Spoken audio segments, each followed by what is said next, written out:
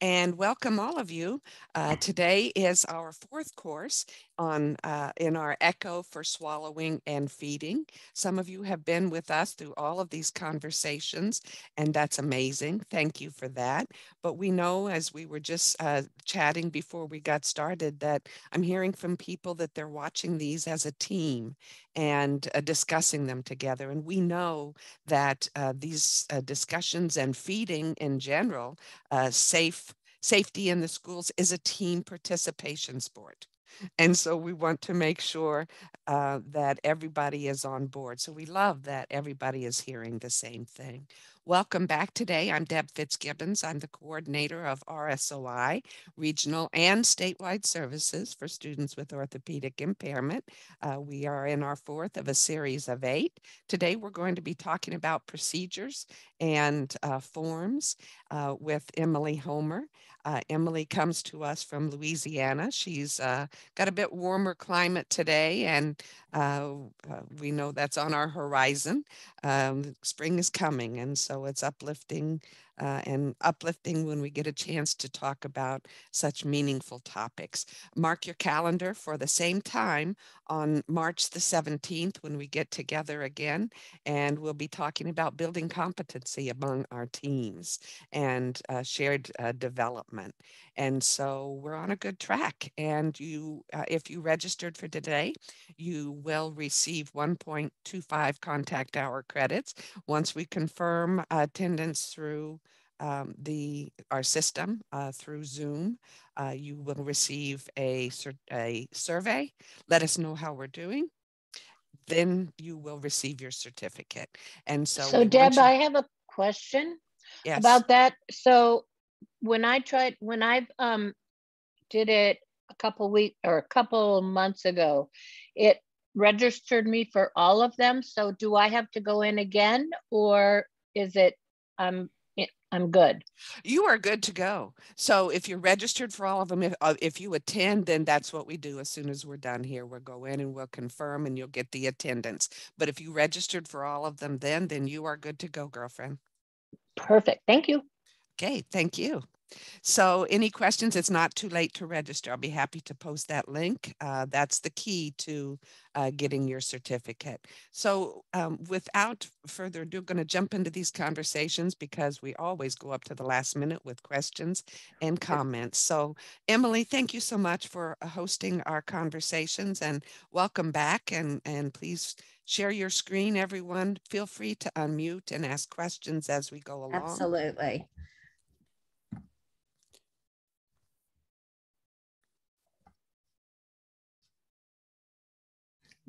Okay. Looking for my PowerPoint. Not sure where it went. Just open up again. Okay.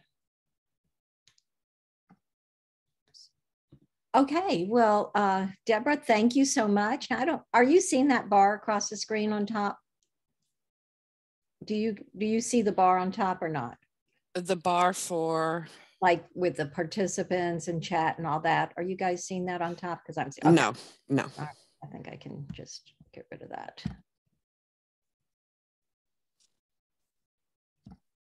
Oops. Wait a minute. I'm so sorry. Let me. That's what I want. Okay, here we go. All right. Well, I want to begin by just saying um, thank you for coming today and for really caring about children being safe at school and eating safely. It's something that um, everyone that works in a public school system needs to be aware of and needs to know about. And, you know, I just recently did a little search about choking incidences in the schools and was really upset to see how many children are actually choking and dying in our schools. And that is something I think we can do something about. I know we can do something about. And so this procedure today will help you to help your children be safer at school. These are my disclosures. Um, I am getting an honorarium from this for this in service as well as some royalties uh, from other things that I have done. So today we're talking about a district supported procedure. And those two words, district supported, so, so important. Um, so we're going to say, we're going to talk about what does that mean, district supported procedure, and how can you implement it in your school. So the first thing I want you to take a look at is, like I mentioned earlier, I have um, revise the procedure and forms a little bit um, to I, I, I, think it's better. So uh, i hope you do too. Um, and this is the flow of the procedure and we're going to go through the whole thing but you can see step one is the referral. Step two has two parts to it and it is now the school swallowing evaluation. Um, and then we move on to the safe plan the cafeteria plan and so on. So the first form, and as you know that, you know, I really call this follow the forms because I know how important it is for us to document everything that we do in the public school system, whether it's swallowing or not, we need to document. Um, and so this procedural documentation form will give you a place to log all the things that you've done all in one place. And that kind of helps you to follow the flow of the procedure and just to be sure that you have done everything. And then if someone asks, you can pull it out and say, yes, this is when I did that. So it really helps with uh, following the procedure with fidelity. And there's one thing we know in the public schools is that um, the, the really, if you have a procedure and you don't follow it, you're putting yourself at risk for due process in that that most of the lawsuits that come against uh, special education in the school districts is from a lack of following procedures such as evaluation procedures, IEP procedures, and things like that. So we know how important documentation is and how important following that procedure is. So this is the first form. And as you can see, as you go through the steps of the procedure, you just write the date and in some places you'll say what happened or what you did.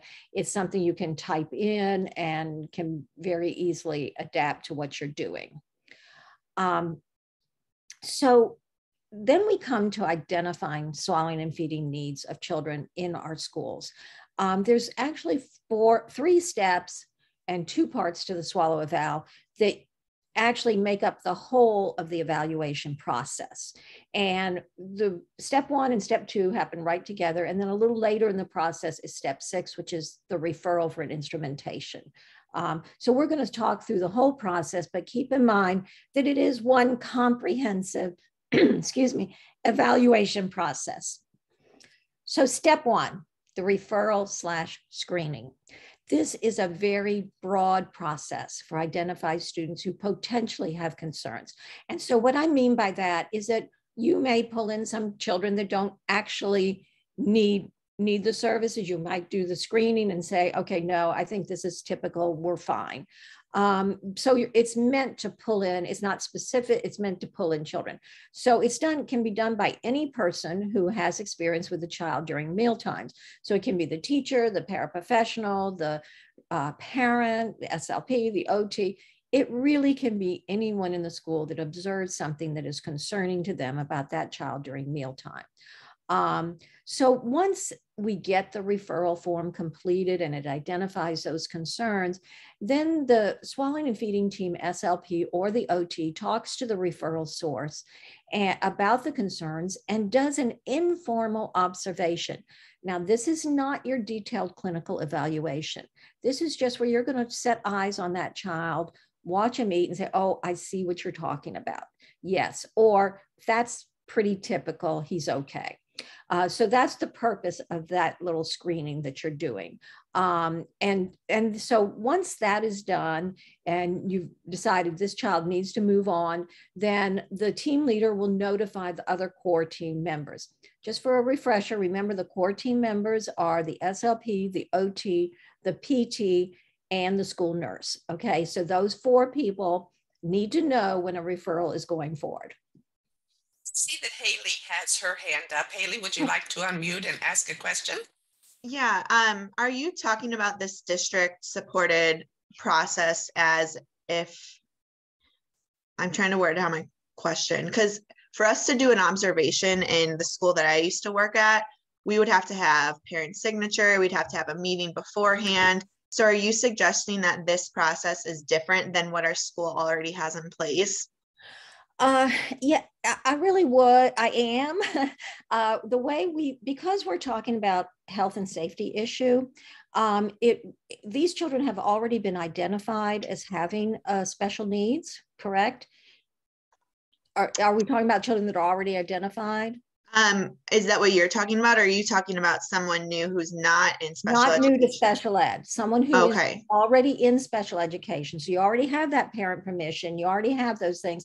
And because this is a health and safety issue, you are able to move forward with it. And of course, we're going to involve the parents. That's the next step. But before that, we have to say, okay, look, there's a concern here. And we need to take a look and, and see if we need to follow up on that. okay, Does that answer? Now, now, it is possible that there are children that don't meet, that are not eligible for IDEA that will have this. And we'll talk a little bit about that. But right now, these children have, for the most part, been identified. But I was just about ready to talk about that actually. So if the child is brand new to special education and they do, they're going through the multidisciplinary eligibility uh, evaluation, then of course you have to follow all those guidelines from IDEA, notifying the parents, setting up the meetings, doing it in a certain time frame.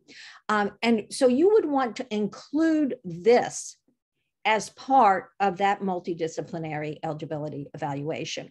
So you would want to use the parent interview to identify if there's potential concerns. What we did in my district is in when the social worker took in a parent interview, there were a few questions, pretty uh, general questions about do you have any, does your child have any feeding concerns or swallowing concerns? Have they ever been undernourished? Have they ever been too fed? And so that we, things that could red flag that we needed to conduct this uh, actual swallowing procedure. So that's how we handled it with new students. And that's what this is talking about. So if you have not done a multidisciplinary evaluation yet, it would become part of that evaluation. Now, in some districts like mine, there is a separate team that does those evaluations, and the school based team does not do them okay, for any child for any reason. Uh, if that's the case, then you would maybe want to, in the disciplinary, multidisciplinary eligibility evaluation, make a referral to the swallowing and feeding team at the school and have the school team identified. And the reason I say that is that if you have a separate team, they're not going to have access to that cafeteria as easily. It's, it's a lot more complicated. So it's better for the school team to conduct it. I hope that's not too confusing. Many of you, if you're just getting started in your teams, are going to have children in the classrooms right now, already identified with special needs, already having IEPs, but they've got a new referral for a swallowing and feeding concern. And that's where we flip it over to that school team, depending on what team model you chose. We talked about that, I think, last time, last month. Are you doing just the core team? Are you doing the school based team or the combination? Whatever, well, whoever that team is for that school, they would be responsible for following this process. And thank you for asking a question feel free to ask all the way through and we'll hopefully get a good discussion going. Um, so this is what the referral form looks like. And you can see this child has uh, some uh, upper body control issues, oral motor issues, drooling, uh, food pocketing, um, choking and coughing. So you, we're, we're looking at a child that probably has oral and pharyngeal phase dysphagia. Uh, so right from that checklist, you already have an idea of the child you're talking about. So once you have that referral and the screening done, then that moves us into step two, which is the school swallow evaluation process. And I, I changed this to more parallel with what medical um, facilities are doing. And they do, of course, a clinical swallow evaluation. So, what we're doing in the schools now, I have shifted it to call it a school swallow evaluation. And um, it is the second step. And there's two forms associated with the school swallow evaluation. The first one is a parent interview and case history. Um, and then the second part of that uh, swallow evaluation is observations of the student, including general observations and oral motor observations, and then the swallow food trials. So we're going to go into more detail about each of these steps. But let's begin with why do we conduct a school swallow evaluation? The purpose is, of course, to identify the feeding and swallowing concerns, but we want to confirm the presence or absence of the signs and symptoms that alerted us to dysphagia. We want to determine the immediately immediate safety of that child and efficiency of their oral intake. So we want to see, is this a child that we need to really get on this quickly because he really is not safe? Um, or is it a child where it's taking them a very long time to eat? They're struggling with the food textures they have, and it's an efficiency issue that we need to address as well. Um, so the purpose of this uh, evaluation will give you some really wonderful information. It also helps to guide the hypotheses that we may have relating to what is happening physiologically in, if the, in the dysphagia, if that's the concern. So it's we're going to say, well, we, we feel like there's some oral motor issues, and now we're going to really observe and see exactly what's going on. And then it helps to guide the dysphagia management and safe feeding at school with the strategies that need to be used. So it really guides not only um, setting up the safe plan, but where do we go from there to help improve the child? So these are the essential components of the school swallow evaluation, parent interview, general observations. And so with your general observations, we're really wanting to take note of the child's alertness, his awareness, his posture, his equipment, his cognition. Is he able to follow directions? Is he aware of what's going on or does he need a lot of cueing for everything. So you're really looking at those general observations. You're also looking at oral motor and feeding observations. Okay. So during the feeding, you're going to be looking at how do the oral motor skills affect their eating. Okay. And then finally, the swallow and food trials, which are really looking at the texture and the amount of food and things like that that we need to take a look at to establish safe eating. So the first part of the school swallow evaluation is a parent guardian interview and case history. Now, I can also say, I, I, do say parent guardian, but in some of our cases, some of our children are in high school and are cognitively aware.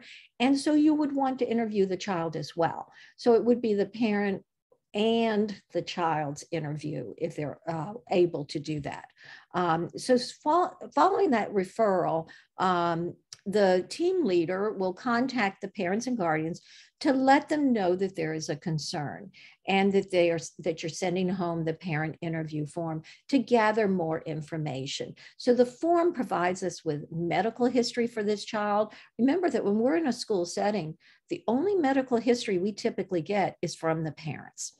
Uh, so it's very important to open that relationship with the parents and to, you know, really get a discussion going with them. It also will provide us with information on how the child's fed at home. And does the parent have some goals for the child feeding? Are they concerned? You know, um, it's really a chance for us to get information that we need in order to safely feed the child at school. Listen carefully to the parents and maybe restate what they tell you to confirm and make sure that you are understanding exactly what their message they're getting across. Um, I really recommend that this be conducted with uh, the SLP or the OT and the school nurse because the school nurse is able to dive into that medical information that's so important, then they might know what questions to ask that would really get to the core of what is happening. Um, they will also know more about the medications. You're, you're going to get that information. You're going to get a history of their medical. Uh, uh, upper respiratory infections, pneumonia, failure to thrive, tube feedings, things of that sort, as well as dental. So, I have a question from Sarah. Sorry for interrupting, okay. Emily. Sarah wants to know, do we have a copy of the parental interview form? Is that in the folder? And that's what I, I have revised these forms. So I did not give Deborah all those forms. I thought it was maybe too many for this course. But I after this session, I'm going to be giving her the narrative of, of the procedure and all of the forms. So any form that I refer to today, I am going to give to Deborah to give to you.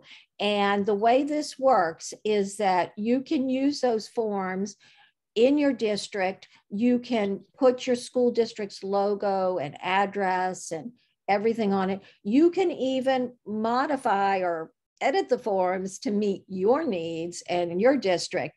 These were forms that were, well, at this point, a lot of these forms are mine, but they originally were uh, established in uh, the public school system. And that's how I look at it, that they are for the public.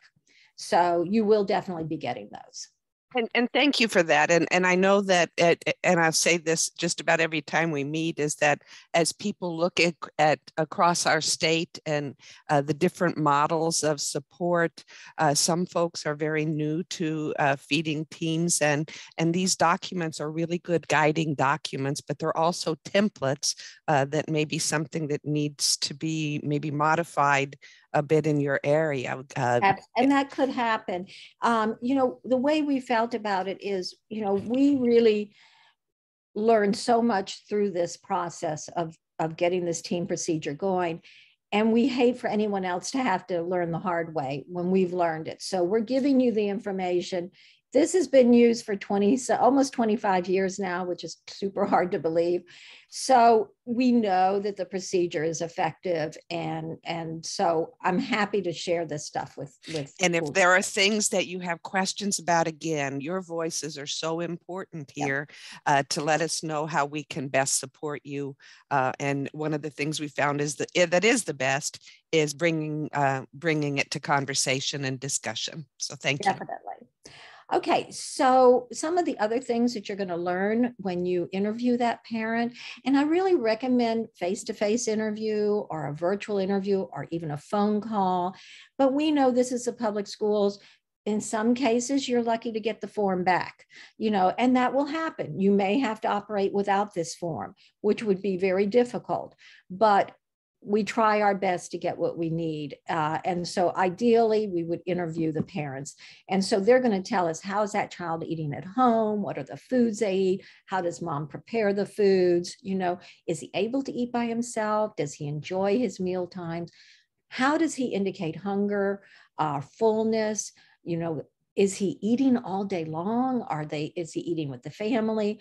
All of this information is going to help you to zero in on what needs to be done for at school, which may be different. And that's something you have to be willing to talk to parents about because our setting is different, because a cafeteria is very different from a home table, because a mom giving the child food is very different from different paraprofessionals feeding the child. So it may be different. Um, so you need to approach this interview with the parents as an opportunity to learn more about that child. Understand that with parents, feeding their child is one of the most important things they do, and it can get very emotional. Any of you who have had a picky eater, you know how emotional eating can be when a child is picky or refuses to eat. So, providing their child with nutrition is probably the most nurturing thing a parent does. So, we have to be very gentle and careful with them and not insinuate that they're not doing it right and we know how to do it right or you know but but more that we need your information so that we can really put a safe plan together together for your child and that it may be different than how they eat at home. So it's really a time to gather information. Um, I love this quote by Angell and Associates. It says, working with students who have dysphagia can certainly be difficult, but understanding the family's perspectives can prove not only helpful, but in many instances crucial to developing and implementing effective programming. When we do not have that good relationship with the parents, when we're not being considerate of their perspective, it can often go really bad. And then you have a struggle on your hands to really establish that safe plan. So this is a page out of your um, uh, it's a, I think it's a three page form for the parent interview. You can see it talks about uh, bowel habits, allergies, medication, uh, a little bit of history about what tests they've had, um, things of that sort. So it's essential to involve the parents from the very beginning. And I'm telling you, when I talk about learning from experience, this was one of those things we learned. You have to get the parents involved from the beginning. It's their child. To listen to them and provide them with information about dysphagia. They may not know much about it. Inform them of the of the inform them that your district is using a team procedure throughout the district that it's not just for their child, that this is what you do for children who have these signs of swallowing and feeding. Sometimes parents will feel like we're sectioning their child out or picking on them. So the fact that there is, is being done throughout the district is very helpful for them to know. And it's also helpful for them to know that we're not trying to make it easier for the paraprofessionals to feed the child, that we're not, um, you know, there is no ulterior motive. The, the goal of the team is safe and efficient eating at school for their child. Rapport with the family, the parents and the family will equal better outcomes for your for the child at school. So it's very, very important. So now we're going to shift on to the interdisciplinary part of the school swallowing uh, uh, evaluation, and that is the food trials, the swallow and food trial part. Prior to beginning that, you want to talk to the food service authorities about maybe preparing some textures ahead of time that should you need to sample a different texture than that child is currently eating, you would have it available to you. So if this child is eating your typical chopped diet, you might talk to the cafeteria about providing a soft and bite-sized or a minced and moist diet, even a puree in case you need it. Uh, just some food samples of that so that you really can try the textures you need. In addition, you want to talk to the paraprofessional who is responsible for feeding that child and tell them what's going to happen. Let them know that you're, they're going to begin by feeding the child in the way that they have been doing it yesterday, the day before, and the way they're used to feeding the child and but that once you see something that may be a concern you may ask them to do something different. So that you may ask them to try mashing the food. You may ask them to try adding a little liquid to it and stirring it up. So there's things you may ask the feeder to do. And then you may say well we have this other texture i want you to try. So they need to be aware that they may be asked to try some different things during the meal you also want to notify the physical therapist before conducting the school swallow evaluation. Ask them to observe the student's current feeding position and determine if they're having any trouble with postural stability. So leaning to the side, keeping their head upright, are they lying down or reclined, eating with their neck in extension? Um, then the physical therapist can do positioning recommendations, including any equipment such as a back brace or head support that may be needed so that when you go to do that school swallowing evaluation, that child is in a good posture for eating and ready to go. Sarah uh, uh, posted in the chat. Sarah, do you want to say anything more about the great new services uh, that you provide in your area? No, we just we've been working on establishing a better relationship with nutrition services, and um, the lead of nutrition services has been really receptive to what our team does, and um, you know some of the mandates required for our students to be able to eat. And um, you know, it's not in every school that we have success, but in many of our schools, they're willing to prepare the food or provide alternates or even extra condiments for our classrooms um, with students who all require, you know, a little bit more help to get that bolus cohesive. So um, I would say if you're not having success, just to keep trying. That's a wonderful thing to say, and and I can tell you, we we really uh, underestimated the food service program when we were getting going on this. We were like, oh, the speed, you know, we have to do the texture modification. We have to but the reality is that they will take that on. That is what they're supposed to do. They do have regulations that require it. And I, I think they take it very seriously in most cases. So I appreciate you saying that. And you're right. It, at first, they may be a little bit unsure and it may take some training and some work with them. But I think you can get to the point where you can say, I need a, a minced and moist uh, tray and they have a list of what minced and moist trays look like and they give it to you, to the child. So which is a great place to be. Thank you for sharing that. So the other thing you want to do is you want to determine the best location in the cafeteria or classroom that is most conducive for conducting the observation but it's still close to the typical eating uh, situation that the child is used to. So if it's in the big cafeteria and that child usually sits in the middle, that's going to be really hard. You know, those tables are long, hundreds of kids. It's hard to observe them in the middle. They may have to move to the edge of the table.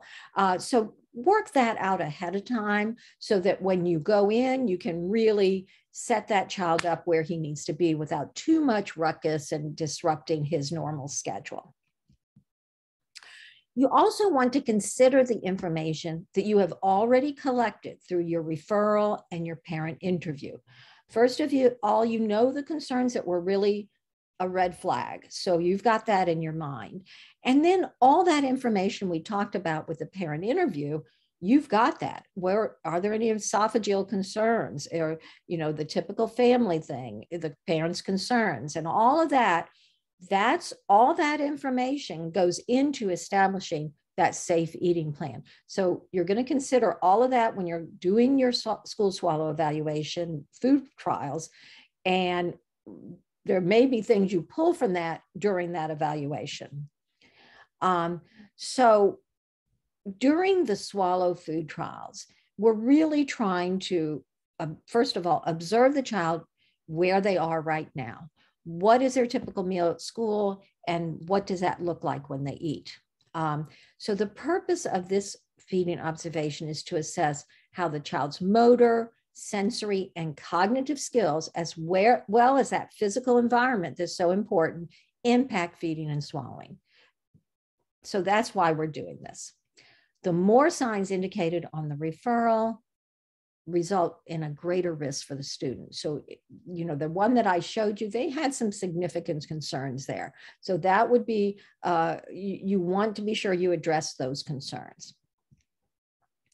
So now we're going to talk. Remember, I talked about the observations about the alertness, the awareness, the independence, the communication skills during meal times, all of those observations you're making. But you also need to look at the child's oral motor skills. Okay. Um, I'm not, I'm not, um, suggesting that you have to do a full blown oral motor evaluation. We're really looking for oral motor skills as they relate to eating. So you're going to want to try to notice does that child have tongue lateralization when he's eating? Is the tongue moving from side to side or is it just pumping up and down? Is there tongue elevation? What about lip closure? If there's have a lot of spillage, a lot of food coming out, they clearly have difficulty with lip closure. You're going to see it, you're going to observe it, and you're going to mark it on the form. Rotary chewing, it should be moving side to side to form a good bolus, but also how many times does the child chew a bit of food? If it's taking him a very long time to chew the food that is presented to him, it may be too difficult of a texture for them at that point. Uh, are they chewing once or twice and then swallowing? Not breaking down that food into a good bolus. These are things you're going to see once you start observing that child. And so you're observing the food trials, but you're also observing those oral motor skills that are so important.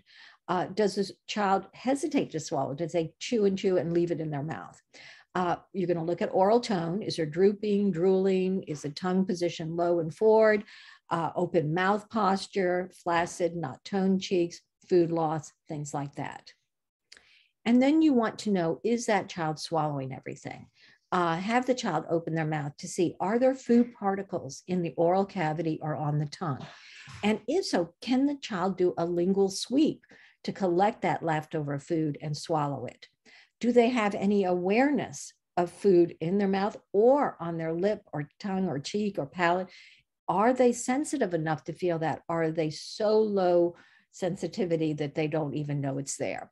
Does the child swallow on their own or do they kind of wait to be cued? Um, what is the oral resting position? The tongue should be making contact with either the bottom or top teeth, but retracted inside the oral cavity with the tongue tip resting on the alveolar ridge. The jaw should be maintained in a high, but not completely closed position. You want to watch the student drink from a straw if they're able to. Look for lip closure, cheek tension, tongue retraction, spillage, and things like that. You also want to see if there's a tongue thrust.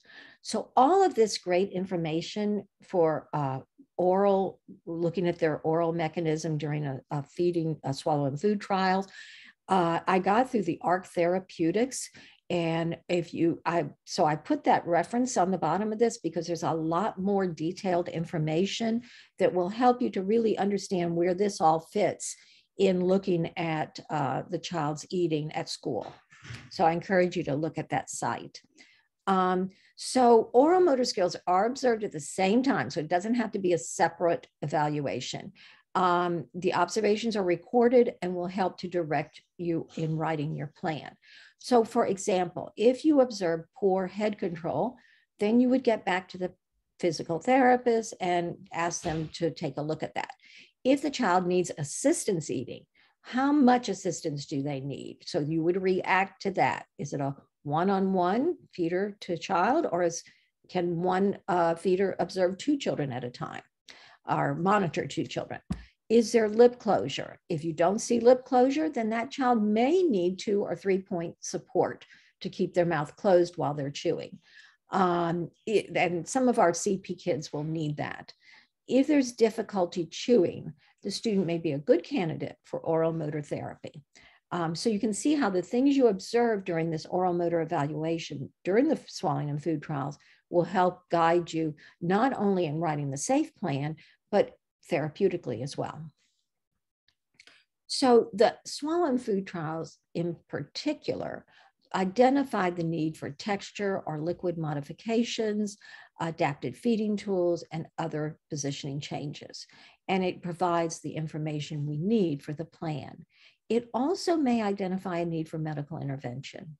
So for example, it, during the observation of the student, you may notice that he's belching and in pain when trying to swallow food. And um, so you may need to then talk to the parents about the possibility of some esophageal issues going on. This would not be something the school district would have to pay for. You can discuss this with the parents that you observe these signs and that they might want to talk to the doctor about that. So you can see where your observations may lead to that child getting some help that they need. So just a note about the swallowing and uh, swallow food trials. It's going to be logistically difficult because it's in a school cafeteria. And we've all been in school cafeterias and we know how they are uh, pretty chaotic. They're noisy. The children do not have much time to eat. There's a lot of motion going on. So it's going to be difficult to conduct a school swallow evaluation in that setting. But you want to try hard to get as close as possible to the typical mealtime at school to observe them in the setting they're most familiar with. And if possible, conduct it as a team. But you know, you may need to break it down. You may have uh, the SLP observing food textures one time and OT coming and looking at sensory and utensils another time.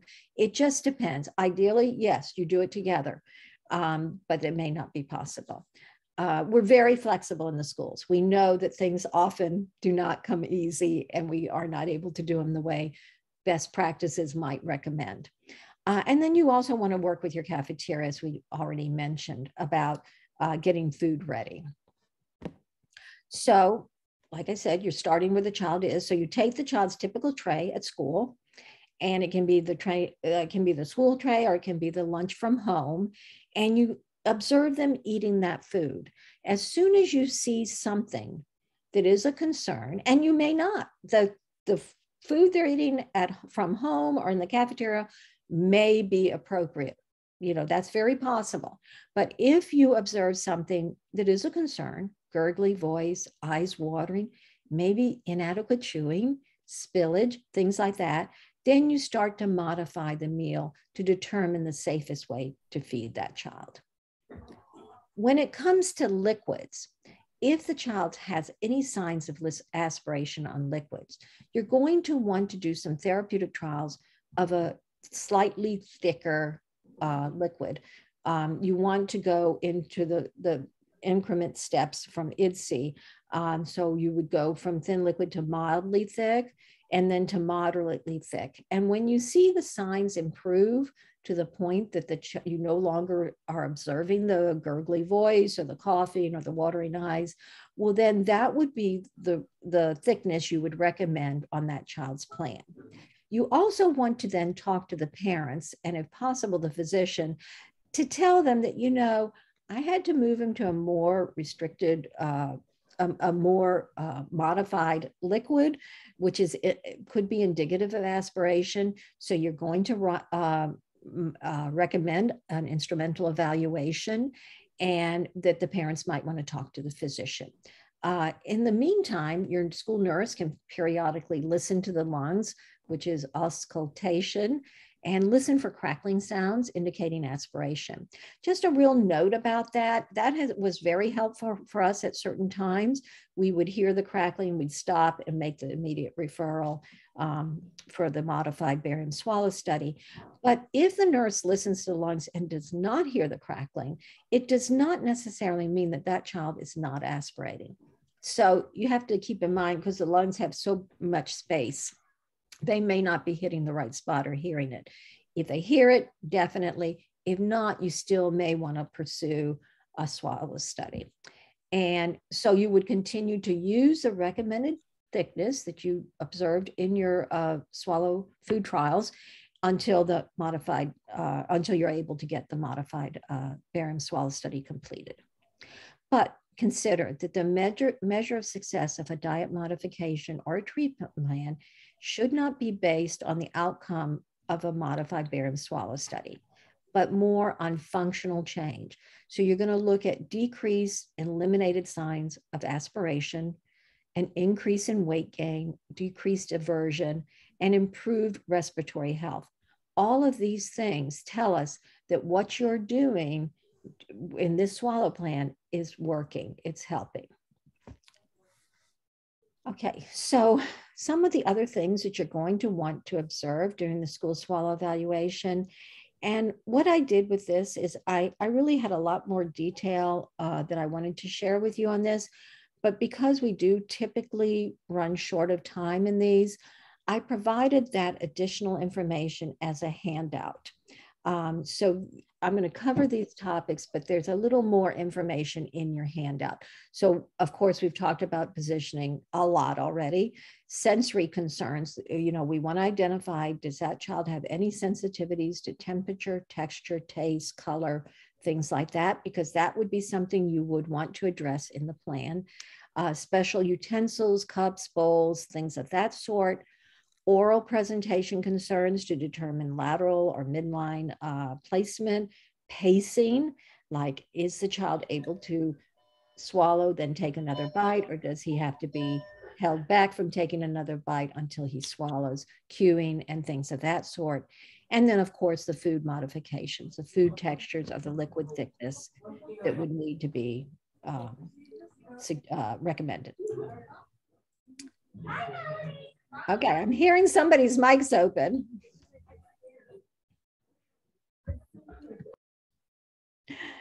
Okay, so this is a sample of the um, school swallow evaluation uh, form, and you can see that it really is very detailed in not only the oral motor, but in what are the uh, signs of airway invasion that you may be seeing, um, the you know and and what are the strategies you attempted and were they successful? So hopefully you'll like this new form. Please let me know um, because i i feel like getting closer to a better better form. All right so that finishes the school swallow evaluation. Does anyone have any questions or comments before we move on to establishing the safe eating plan Um, Emily, I have a, a question um, as far as um, the use of uh, any kind of like a thickener for, you know, like I have, I have a student that um, just recently, um, she wasn't really drinking very much uh, for a little bit, but she, I found that she is uh, coughing on any type of cup that we use with her. So I really suspect that she just cannot handle um, thin liquids. And when I mm-hmm. worked in the hospital setting, like we could not add a thickener or anything like that without consent from the physician. But mm-hmm. I'm hearing you say that you are using thickeners in school without consent. I mean, are you concerned about, um, I mean, I guess you're getting parent consent for uh, that, but. What we're, what we're doing is, um, and, and, you know, you bring up a really good point there, but um, we would not be able to give that child anything to drink if we weren't able to thicken the liquid. So it becomes a safety issue for that child. Um, and the schools have total responsibility for student safety while they're on the campus. Um, so that's where that comes from. And, and, and ASHA does say that we do not need a physician script for the identification or the treatment of a swallowing and feeding problem in the school setting. Um, so I and and I so I feel very uh, secure in that statement. However, because you're looking at something that maybe indicates some physiological issue or a structural issue, then we do recommend referring for a modified barium swallowing, working with the parents to get that referral and um, getting that done so that we can really see what's going on pharyngally. So we don't take it lightly but we do get that child safe at school in the meantime until we get more information. So look at it as okay, we're going to get this child as safe as we can. We're going to refer them to the and, and hopefully the parents will uh, cooperate with the referral. If the parents don't, sometimes parents will not let us talk to physicians. They will not uh, listen to our concerns, and in which case we still have to either we have to feed that child safely or they can't be at school. Okay, so we would not want a child to go all day without drinking anything. So the option is to provide as safe uh, liquid modification as we can to uh, for that child. Uh, how does that sit with you? Um, so in this situation, I mean, I suspect that because I've talked to the family about the uh, with the drinking and and they're they don't note any concerns at home you know and it's a little bit i think of a cultural um, mm-hmm. issue and i suspect that they're not going to be willing to take her for a swallow study i just think that they think there's not a problem there they don't see yeah. that there is so i and i do not think that she is safe drinking at school um, and she's i mean she's on modified for her food too and the family understands that that piece of it and they are supporting that piece. So I'm, yeah, I think we're going to be in a bind because I, I, I mean, the family though might, they might be okay with us using a thickener um, at school. Um, I don't think that they'll do any further testing. What signs do you see of uh, as, that makes you concerned about the thin liquid? Um, well, she's just coughing with any type of sippy cup that we use. And I've tried a nosy cup with her and she um, she has down syndrome. So you see some uh, tongue thrust it's, it's, like she's just blocking the liquid. She just yeah. cannot control the liquid and, and in her mouth and she low, has spillage. You tried a low flow cup as well? That, um, sometimes that helps but but the thing is so sometimes it really helps and i, I don't know about this parent because they're all different um, to bring the parent in and have you know have go, go through the meal with them and say notice every time she drinks, she um, coughs. And then if you can, you know, there's a lot of these little videos that kind of a animated video that shows what happens when the food goes uh, the wrong way, so to speak. And you can kind of do a little education session with a parent and say, you know, it's not, it's not something we can't deal with. Watch when I give her a little thicker liquid, what happens and, you know, you can see now she's drinking, but she's not coughing. So I, sometimes that really helps. And I, I know that's, you know, a huge time commitment for us in the schools to do that. But sometimes with some parents, it really does take them coming and observing and us really telling them, you know, it, training them, teaching them about what's going on. And you know, the the research I saw uh, when working on my book is that when we educate parents, they feel less stressful, they feel more relaxed with their child. So I, I really highly recommend that. And I know that we always have parents who join us in our sessions, and we love that. But I mm-hmm. think that they would all be shaking uh, their head, nodding their head in agreement on that. I hope so. okay, so let's move on to step three, which is establishing a safe eating plan and training. Okay, so, so following the school swallow evaluation, the core team gets together and takes all this tons of information you've accumulated with each person contributing their expertise and they write a very clear and easy to read safe swallow plan um, and this plan provides the classroom staff and the feeders with the information they need to safely feed the child at school. It needs to be put in a location in the classroom that can be easily accessed and referred to when need to.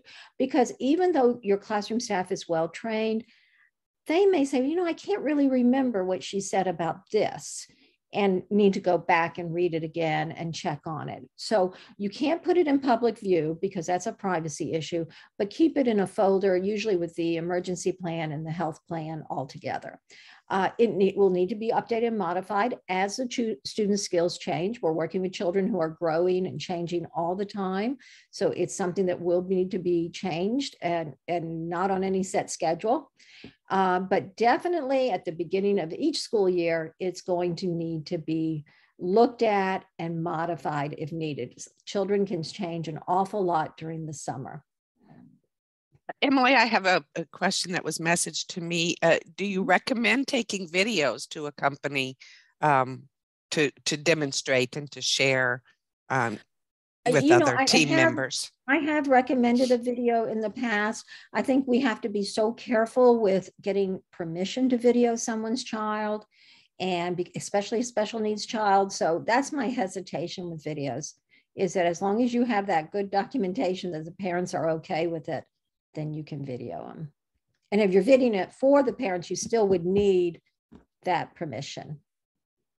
Okay. Thank you. All right, so the safe eating plan includes identifying information, a brief history, what was that initial concern, recommendations, positioning, equipment, diet, food prep, feeding plan techniques and precautions, such as how big should the bolus size be, how much monitoring does that child need. And then at the bottom of the form that I use, we have a place of a verification of classroom staff. And this is one of those things we also learn the hard way once you feel that a staff member in the classroom is ready to feed that child, they need to sign and date that they've been trained. And that way, they are accountable for what they're doing. And we found that when we didn't do that, we would come back and sometimes they say, Well, I didn't know, or I've never really been trained right, or whatever. So we felt this was important. Some districts do not care for doing this, so you may want to take that out. It just depends. Um, however, you always have to have a sufficient number of feeders trained. So it's, it's good to have that verification. Other school districts use the training technique that they, when they train uh, classroom staff on seizure reactions or tube feedings, they, whatever they, however they do that, they would do for this as well. So do whatever works in your district, but I think it's good to have some record of the training. And of course, this is the swallow plan. So all those things we looked at in the school swallow eval are things you're putting on that plan. The sensory concerns, the utensils, the spoon placement, cup drinking, compensations, everything, it all goes in that plan, but in a bulleted, easy to read, easy to reference format.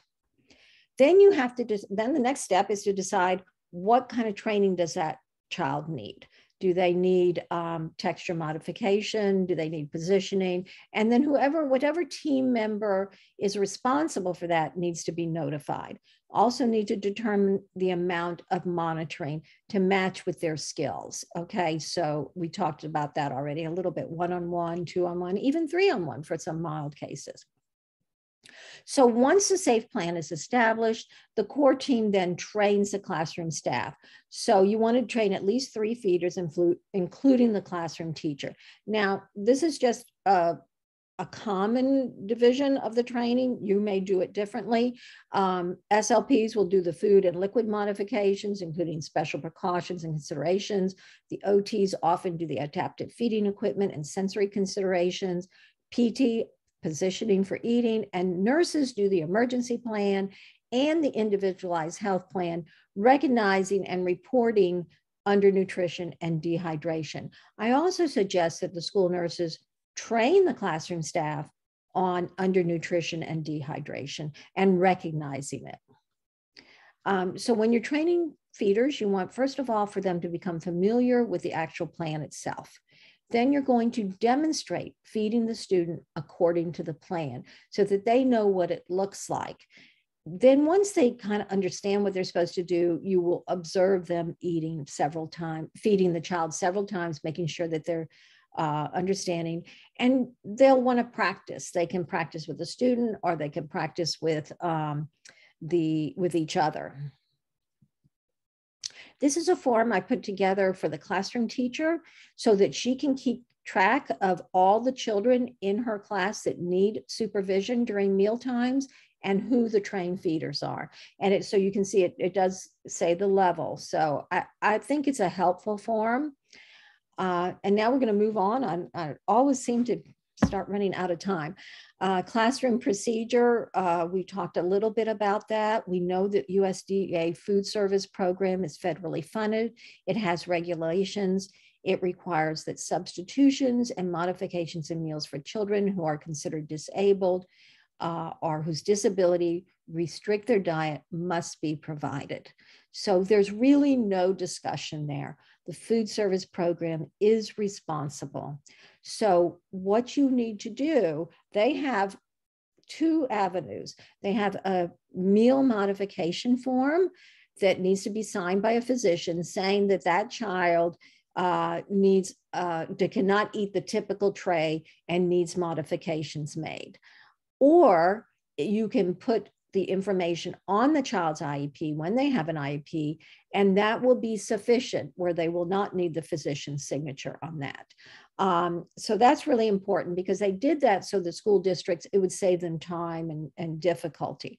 Um, the purpose of this is twofold. One is that the food tray remains nutritious and equal in nutrition to the other students. The other is to get funding for that modified tray.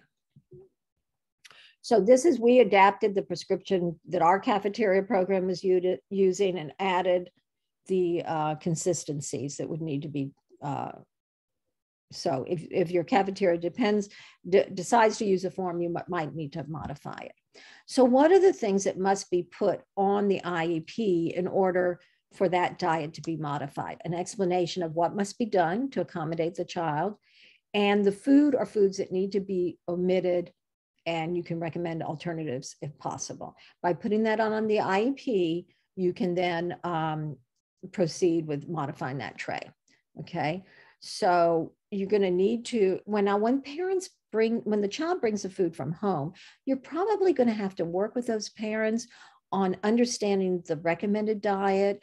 They're not going to know what minced and moist means, for example, or how to get that texture. They're going to need to know what foods to include.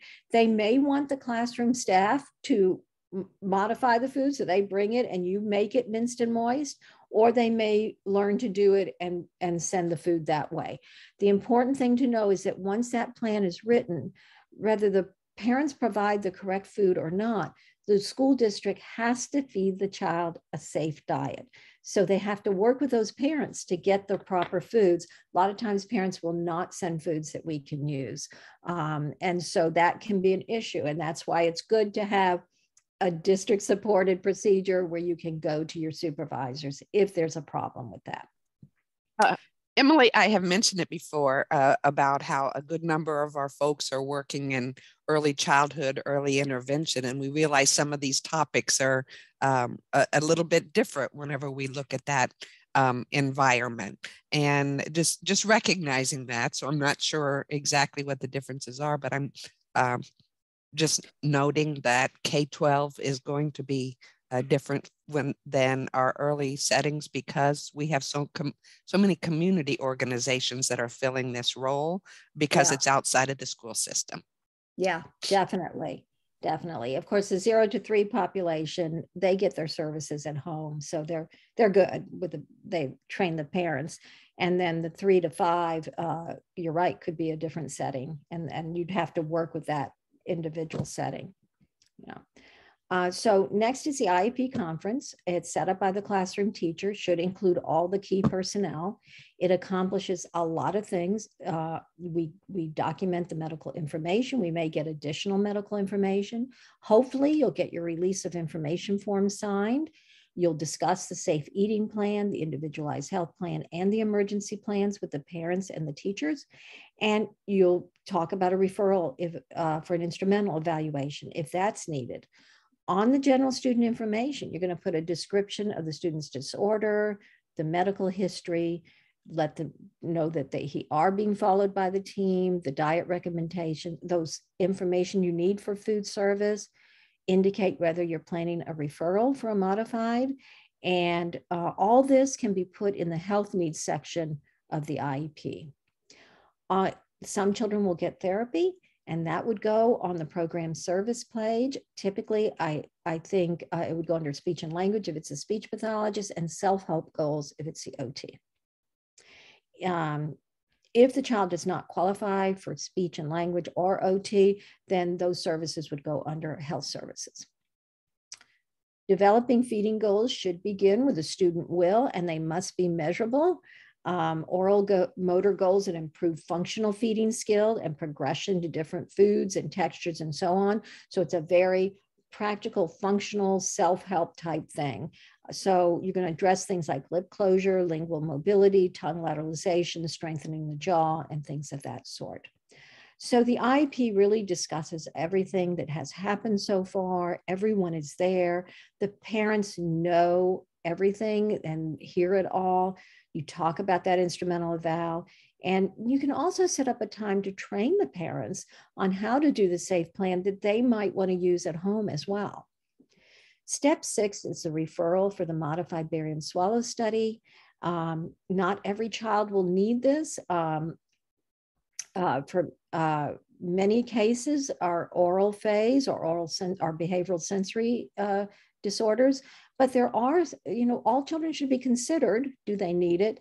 Uh, especially if there's pharyngeal functioning or pulmonary health are issues. So when do you refer? When there are clear signs, like we talked about, the gurgly voice, the coughing, when they need to have liquids thickened indicates a pharyngeal involvement. Uh, concern about aspiration without the signs. Um, when there's a history of aspiration, if a child came to us with a history of aspiration, we'd want to check that out, make sure they're clear to eat a regular diet. Or when the student appears to be undernourished, lethargic, has chest pain, coughing, phlegm, is eating, but there's really a question about their intake and, and efficiency. The instrumental assessment may be used to examine the anatomy and physiology of the oral cavity and the pharynx during swallowing it will give us more information about the oral and pharyngeal and esophageal phases to help us guide in our diagnosis and in our therapeutic intervention. And will and can uh, evaluate the effectiveness of the strategies we're recommending for safe eating. So um, I'm gonna let you go over this because we're running out of time, but it's just steps that you would need to um, set up a modified barium swallow study.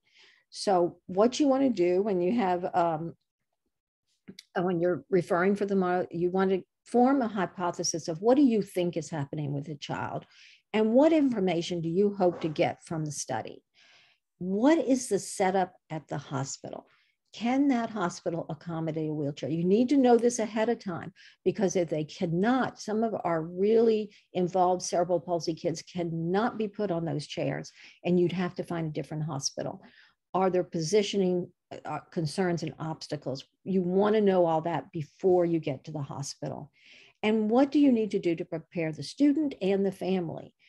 Will they be bringing utensils and foods or should you bring the utensils uh, and and make sure that the hospital has the foods you want to uh, evaluate? And will the school-based person be attending? This is the form that we use to inform the hospital of uh, the referral and we, I always feel the team leader should go because they can assist in getting uh, the study that the school district needs because parents don't always have the same concerns that we do.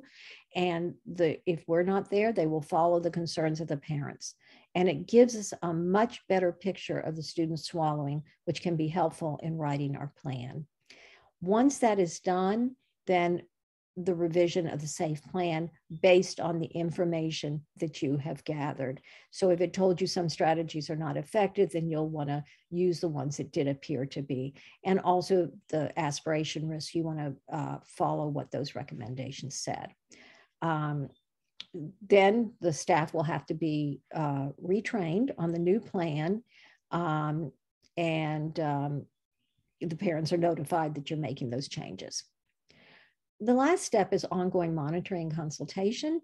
All children must be monitored on an ongoing basis to make sure that the plan continues to be safe and appropriate. In addition, some children will need oral motor or sensory motor therapy to really improve their skills, their children.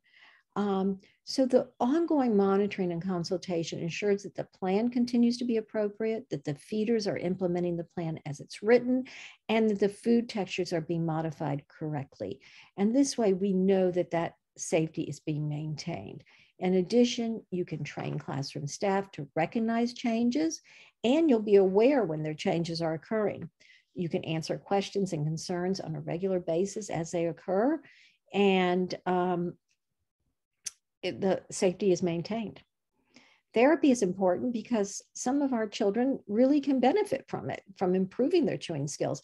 And if we can move those children to more normalized eating, it's very important. Remember, eating is a self help skill. And so it's important that we do that. So these are the building blocks. This is the identification process we've talked about today. These are establishing a safe plan and maintaining it that we've talked about. There is a section on management of swallowing and feeding throughout the school year that I am not going to talk about today. I put that in your handouts, just have to read it. It's, it's not rocket science. It'll make a lot of sense to you. Now we're going to get to our case study, which I think we have time for.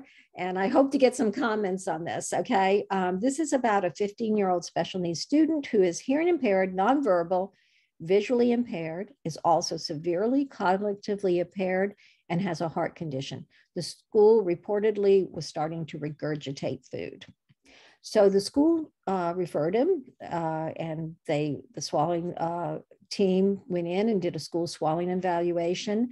They identified that he needed he could eat finger foods independence independently and spoon fork uh, foods with assistance.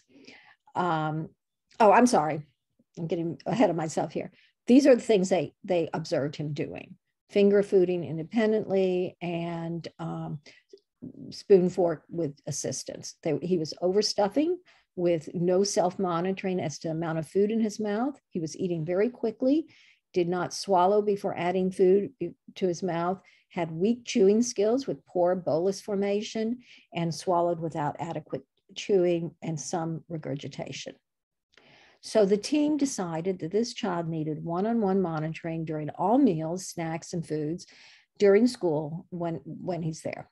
Okay. Upright position with his feet firmly supported, ongoing monitoring of the student's plan, soft and bite-sized diet modification due to a lack of chewing skills, cued to swallow, once the bol bolus is swallowed, then the student is presented with another bite.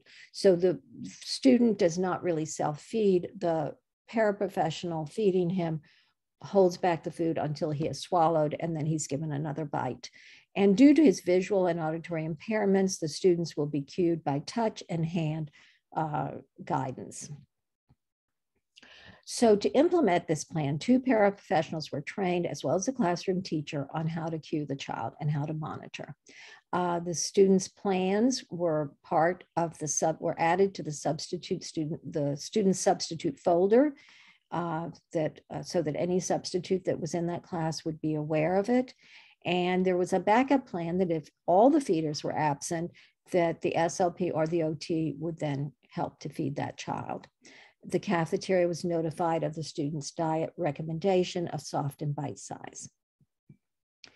And I call this procedure matters because this was actually an actual student whose school district did not have a plan in place. So none of the things that I just talked about happened. None of those uh, recommendations were made. The plan was not written.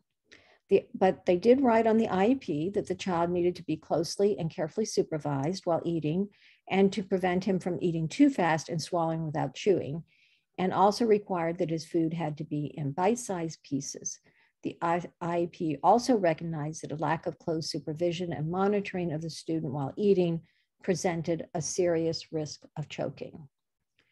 On the, this particular day, both the teacher and the paraprofessional who knew how to feed the child were absent. Remember, there was no safe eating plan uh, for that child. And so the substitute couldn't review it.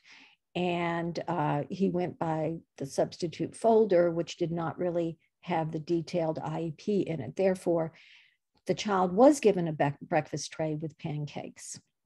He fed himself with the substitute was there, but didn't realize that he was supposed to be limiting the amount of food the child was given um, because he was just not aware of those recommendations. As a result, and this is the reference to this case, if you want to look it up, as a result, procedure matters. He ate too fast, swallowing his food without chewing, and his food was not cut into bite sized pieces. According to the EMS paramedic that uh, came to the school, there was a large amount of food, some of which consisted of big chunks and was unchewed. It was suctioned from the student's airway. The second EMS paramedic testified in court that chunks of food entered the suction tube, but some of the food was too big to come up the tube. And the paramedics were unable to intubate the student because there was so much food in him. So the facts at trial clearly showed that the student, a 15 year old with many student special needs, choked while eating breakfast, which led to cardiac arrest and his death. And that's why I say uh, procedure matters. Uh, this very well could have been avoided. And these things are happening in our schools uh, around the country. And so I, I'm so glad you're here listening to this. And I'm so glad that we had a chance to talk about these procedures. And I will get that information to Deborah. And I'm just wondering if anyone has any questions or comments kind of a heavy way to end it. I know. I'm very sorry about that. Well, it's a dose of reality. And, um, you know, you brought tears to my eyes to think about in that comment that you made that it could have been prevented. That's why it, we are having these conversations right now. Well, so I, I think if you if you Google uh, choking deaths in school and you read about these cases, just read it with a mind. Well, would it have made a difference if we had a procedure? And I think, and Mary Ellen wanted to know, did you say that you have case references? That's in the slides, right? Yes, it's in the to slides. find this. Okay. Mm-hmm, mm-hmm. And you can read the whole. They they appealed. The school district appealed and lost the appeal as well. So, is that it? Any other questions?